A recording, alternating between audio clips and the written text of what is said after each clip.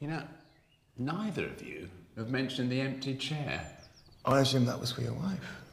What if I told you that at the edge of my property there's a dilapidated little house, and in this house there's a man who I invite for lunch every day, and the only response I ever get from him is this empty chair?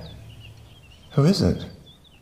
This man, my dear young friend, is the reason that I summoned you here. I don't understand.